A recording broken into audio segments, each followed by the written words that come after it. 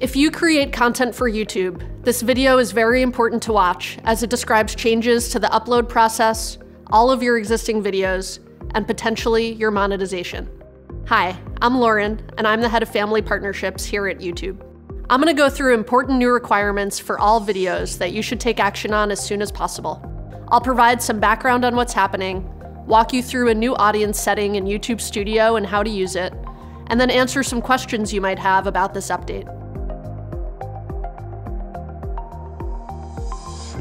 Back in September, we shared the steps we're taking to address a recent settlement with the U.S. Federal Trade Commission that will help creators comply with the Children's Online Privacy Protection Act, known as COPPA, and other applicable laws. In order to help you comply with the law, we're now required to ask you to mark all of your videos as made for kids or not.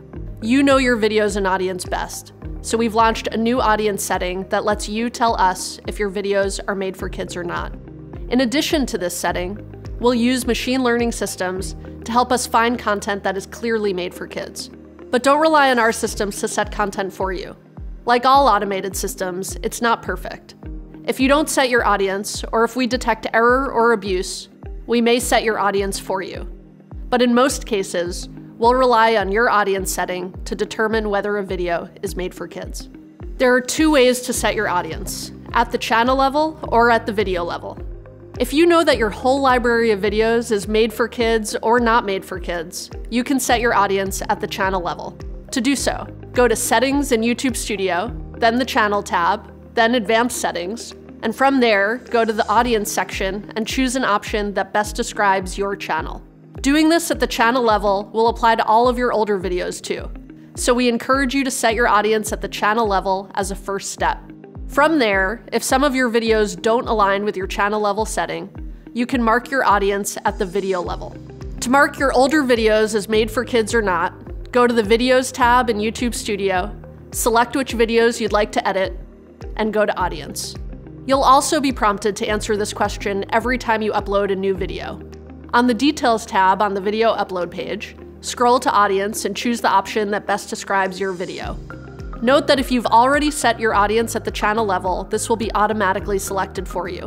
But make sure to choose the option that makes the most sense for that specific video. Again, it's incredibly important that you take these steps to set your audience accurately. Now we realize this is a big change, so let's dive into some questions you may have. What's considered made for kids content?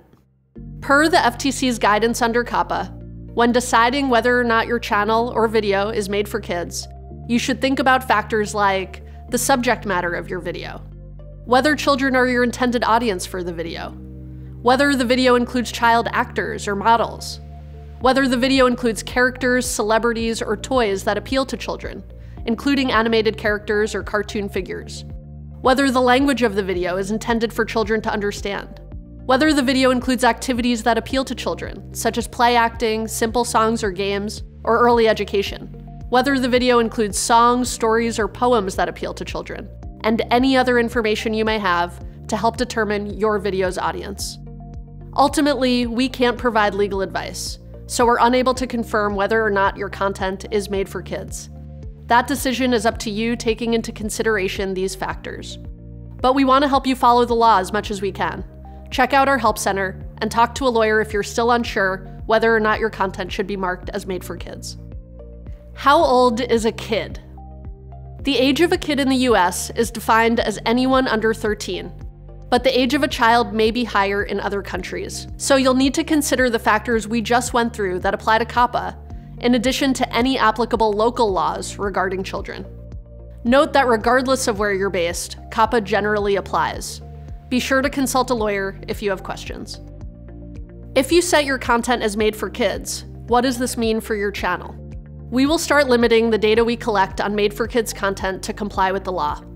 Because of this, videos that you mark as made for kids will be treated differently on YouTube. Some features like comments will no longer be available. Most importantly, those videos won't show personalized ads, so some creators may see a decrease in revenue. What other features will no longer be available if I set my content as made for kids? Starting in January, if you mark a specific video as made for kids, features like comments, personalized advertising, Info cards, end screens, and more won't be available on individual videos. If your entire channel is set as made for kids, your videos won't have any of those features. Your channel also won't have stories, the community tab, the notification bell, and your viewers won't be able to save to watch later or save to playlist. Keep in mind that these restrictions are to follow the law. For a full list of restricted features, visit our Help Center. What happens if YouTube's systems say my video is made for kids, but I disagree? Can I appeal?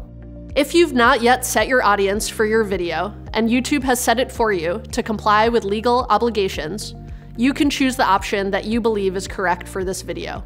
If you've already set your audience for your video, and we detect error or abuse, you still have the option to use the Send Feedback button if you disagree. You can find this in your video's details tab in YouTube Studio. What happens if I mark my video's audience incorrectly? If you don't set your content appropriately, this may result in compliance issues for you under COPPA and other laws. And if we find that you're abusing our systems and intentionally marking your videos incorrectly, this may result in consequences for your channel or videos. We know this won't be easy for some creators, and that this required change is going to take some getting used to. But these are important steps to ensure compliance with the law. We're committed to helping you prepare for this transition. So if you'd like to learn more about this new setting, be sure to check out our Help Center. Thank you for watching.